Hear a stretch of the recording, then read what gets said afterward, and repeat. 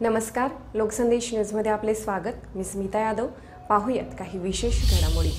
आता चुकीला माफी नाही अशी आक्रमक भूमिका आता पलूस पोलीस प्रशासनाने घेतली आहे. संचारबंदीत विनाकारण गर्दी करणाऱ्यांची आता गय केली जाणार नाहीये. संबंधितांवर कारवाई करून तातडीने गुन्हे दाखल करण्यात येत आहेत. कोरोनाचा प्रतिबंध करण्यासाठी चौदा एप्रिलपर्यंत संपूर्ण देशात लॉकडाऊन केले आहे. गर्दी कमी करण्यासाठी संचारबंदी लागू आहे. तरीही या संचारबंदीची तमा न बाळगता अनेक जण विनाकारण रस्त्यावरून मुक्त संचार करत असतात. गर्दी करून आदेशाचे उल्लंघन करतात. अशांवर आता पोलिसांनी नाकाबंदी केली आहे. पलूस शहरात येणाऱ्या सर्व मुख्य मार्गांवर पोलिसांनी नाकाबंदी केली आहे. शहरात गर्दी करणाऱ्या व विनाकारण फिरणाऱ्यांना कडक समज दिली जात आहे. काहींना पोलिसी खाक्याही दाखवलं जात आहे.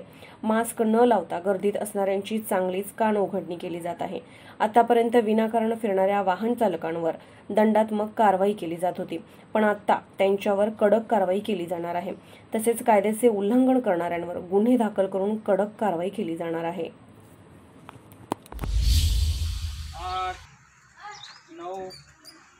दहा अकरा बारा तेरा चौदा पंधरा सोळा सतरा अठरा एकोणीस वीस चार